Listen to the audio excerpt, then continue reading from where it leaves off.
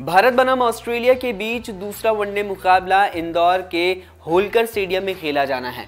आपको बता दें कि भारत ऑस्ट्रेलिया के बीच तीन मैचों की वनडे सीरीज़ का दूसरा मुकाबला होगा और इस मुकाबले को देखने के लिए भारतीय फैंस काफ़ी ज़्यादा उत्साहित नज़र आ रहे हैं।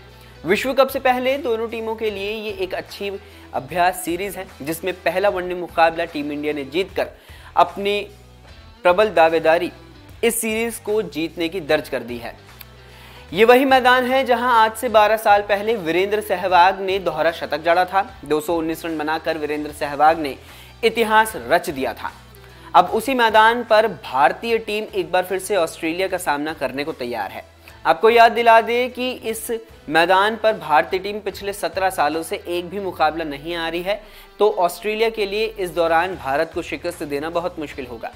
लेकिन शायद ये मुकाबला एक बार फिर से बारिश की वजह से रुकावट का कारण बन सकता है। आपको बता दें कि होलकर मैदान पर भी झमाझम बरसात होने की उम्मीद लगाई जा रही है। चले जानते हैं कि 24 सितंबर के दिन क्या है मौसम का हाल। मौसम को लेकर खबर अच्छी नहीं है।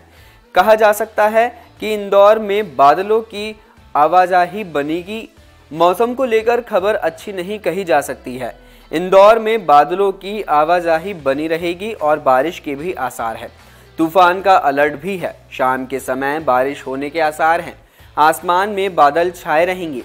ऐसे में इस मैच में बारिश का खलल देखने को भी मिल सकता है। बरसात का पूर्वानुमान जताया गया है।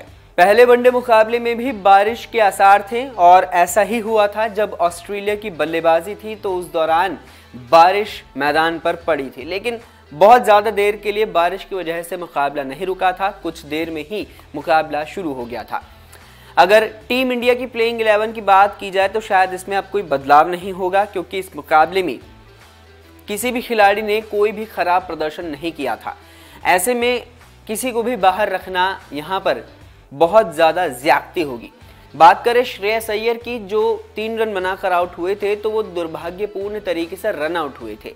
अगर वो खड़े रह जाते तो शायद इस मुकाबले में वो भी रन बना देते।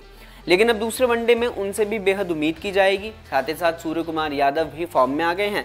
तो अब देखना दिलचस्प रहेगा कि सूर्य कुमार यादव इस मुकाबले में क्या कमाल करके दिखाते हैं। इस खबर में इतना ही, आप बने रहिए वन इंडिया के साथ।